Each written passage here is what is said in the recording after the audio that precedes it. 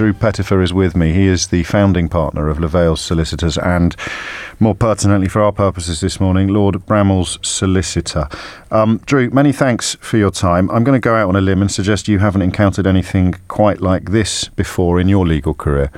Um, I'd have to concede that from the from the off. Yes, it was unprecedented. What was most remarkable? Um, the obviously the, the media interest, and um, from my own analysis of the case, that essentially at its highest, the case against Lord Bramall was the um, uncorroborated um, statement of anonymous witness and nothing else. Um, how long it took the police to reach the decision that they did last Friday. But it's only uncorroborated at the end of that investigation, isn't it? I mean, it, it, they need to search for corroboration and then conclude that they haven't been able to find any. Yes, but um, y- you have to remember that when um, my understanding is that mm. Nick was interviewed at the end of um, 2014, around November time, the police applied for a warrant to search Lord Bramall's premises on the 2nd of March and executed that warrant on the 4th of March. It wasn't until the 23rd of April I was actually able to get them in a room to explain what the allegations were against him. Um, and upon actually the culmination of the first interview, um, my own analysis of it was, but for the background noise, the case wasn't going to go very far at all. What do you mean by background noise? Like I said, the the interest both from the media, um, obviously um, other high profile sex cases. Jana, you've already talked about on your mm. show. Um, but Lord Bramall seemed to be, to me, very much to stand apart from those other people. So, if, if, you had to speculate upon a conversation that took place, it would be something along the lines of we, we, we have to go in 120% on this one because we've been running at 40% on other investigations in the minds of the public. It's it's difficult. It's difficult. I mean, I've been listening to some of your um, callers about phrase mob handed. Yes. You, you, have to remember that when the police um, were executing a warrant, they were going in there because they had reasonable suspicion an offence had been committed. They were going in there um, to secure evidence that they believed to be relevant to the case. If only two of them had gone in, bearing in mind we've already you've already discussed how many people were yes. in the property. If only two of them had gone in there, they'd have been in the property even longer. So there are operational considerations as well. Um, but it's uh, whether they overcompensated. I think is that that's what you're you're, you're driving at. Yeah. That's um, that's difficult. I do wonder after they went in whether they found what they were expecting to find in terms of evidence, um, because in my experience, it's unprecedented to have a situation where a warrant warrant is executed and then not find out or receive any disclosure for some six weeks. What did they find? Um, nothing of any evidential value, and it was returned um, halfway through last year. What what sort of stuff did they take away? Um, pictures, speeches. And did you ever think they were going to arrest him? No, no. That never really beeped on your radar at all. No, there's no there's no necessity to arrest him. There's no necessity. He was he was always going to cooperate. Um, everything was done quite cordially. So, if, if you had to pinpoint the moment at which this, I, I appreciate in terms of your personal experience, the, the, the, scale of media attention and the accompanying circus is, is not going to be something you were familiar with. But in terms of the legal process, the nature of the police investigation, was there a point at which you thought that you were moving into uncharted territory? This was unlike anything you'd you'd seen before. I started to doubt my original analysis of the case. Um, because there didn't seem to be any movement, any progress. And I kept looking back over it and thinking, what have I missed? Because yeah. there just didn't seem to be um, anything um, substantial or credible you could base a prosecution on. So you started thinking, well, there must be something. I must have missed it because of the scale of this investigation. Well, there can't be this much smoke if there wasn't any fire because, fire because, because of because of the time it was taking. Right. Um, yes. And but then, obviously, as revelation started to appear in the media, which I'm sure we're all familiar with, um, it started to make. Um, you mean revelations about other accused men? Well, revelations about other accused men, revelations, um, exposes on the accuser. Um, I started to have more um, confidence that my original analysis and opinion was right. Yes. How, how did Lord Bramall conduct himself during all of this time? I, I've never met the man, but reading what his words are rather than everybody else piling in on this issue, um, he seems a man of quite extraordinary grace. He is. He, I mean, he, he, he's very honourable. Um, he's a man of great integrity and a man of great dignity. Um, he. It, it's very difficult. I'm, I'm, I'm not even sure I can do. It service the impact upon him for a man who's devoted himself to Queen and country and lived his life in public service to then suddenly be accused essentially by the country that he'd fought um, to protect of this. I mean, it was mortifying. And obviously, you've touched upon his poor wife, Lady Bramall, um, suffering as she was at the time and ultimately dying. He was very keen, and there was a great sense of frustration that he wanted to um, get um, to last Friday a lot quicker. He wanted the opportunity yes. to answer the allegations to the police. Um, the initial period um, between the execution of the warrant and the um, interview on April the 30th was extremely difficult for him. What, what, what, what, why do you think there was such a, a long period of time there? The I had um, um, a number of conversations or tried to engage the police a mm. number of times. We were told um, that there was a change in senior management and the senior manager um, needed to be um, briefed. Um, then the what happened next?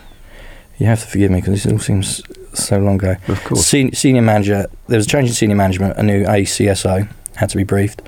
Um, then they um, wanted to conduct a review whether it was uh, most appropriate to interview at the time, um, which I found strange, bearing in mind they'd had Nick's statement, I believe, for at least three or four months.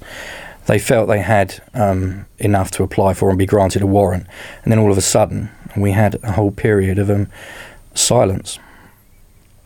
He um he said himself he will not be writing to the Met Commissioner Sir Bernard Hogan Howe, but but to quote him again, other people might put some pressure on him. Uh, I mean, the Prime Minister and the Mayor of London have both waded into the story with uh, sort of cautious calls for an apology from the Met. Does he want an apology? He's not actively seeking an apology, and I'm not going to say an apology would be unwelcome. Um, he wants uh, the restoration of his reputation. Um, he's concerned about his legacy. He very much wants um, to put this all behind him now. He understands and he's happy for other people to take up the baton. Right. But he himself, this has been incredibly. Well, he's 92, I mean, exactly. to say the least. I mean, he's, he's, he's already fought enough wars. Do you think he should get an apology from the Met? But bearing in mind the callers you've been listening to saying, I didn't get one when I was accused of rape and, and, and similar. But then again, it's a, it's a question of scale, isn't it? And proportionality. Of course. And, and, the, and the proportion, I mean, this is uh, off the scale, so to this, speak. I mean, this is unprecedented. So this you do. why I'm sitting here. I, I, in, in the circumstances, um, I'm not calling for one, but um, it would not be unwelcome. It's a lawyer's answer, isn't it? I'm a lawyer. Sorry, James. I can't really complain. can and um, and and in terms of political pressure, I mean, the, the the prime minister getting involved now in the call for an apology, the the sense abroad that there was. A, a history of drop balls in the arena of child sex allegations, against child sex abuse allegations against prominent public figures. Mm-hmm. Could, could you imagine political pressure being brought to bear upon the police, or do you think the buck for the nature and the scale, the proportion of the investigation stops squarely with, with the police? Well, obviously, I mean, Tom Watson was very vocal. It's very difficult. I mean, I'm not um, privy to the inner machinations of um, the Metropolitan Police, but um, it's that's really difficult for me to answer. I do not know. You have a I, view, or you just don't want to speculate?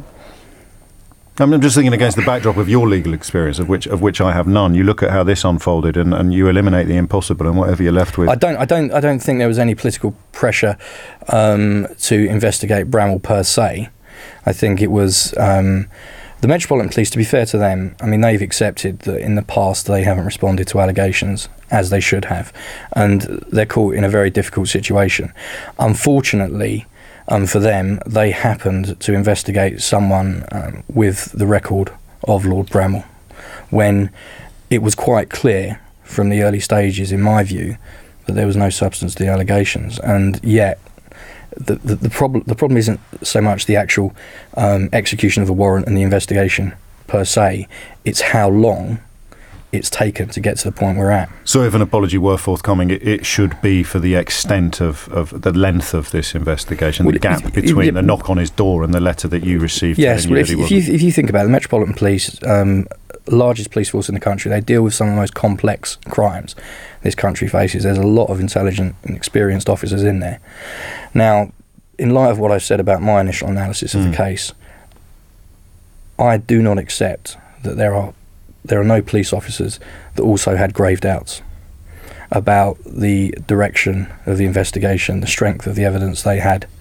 What I don't understand is how long, why it took so long to get from going through his door and executing the warrant on the 4th of March to January the 15th. and those those answers are still still not forthcoming, and they may never be. Well, I mean, perhaps the Goddard inquiry will look at um, some of those um, issues. and, and the operational decisions concerned. Just a couple more things. I know, I know, we're, we're already running over the news a little. Um, if you could address one of the points raised by a caller, you don't have to, of course. You, you didn't know that that was going to happen, but the suggestion that all the people speaking up for him now, some of them were a little quiet prior to the cessation. Of No, the that, that that is that is that is completely unfair. Yeah. I will um, take responsibility now for the way um, his part in the media was conducted. I made a conscious decision, bearing in mind, and you've touched upon how he comes across. He's a very gracious man. It would have been completely undignified if he'd have started a public war of words. It was never.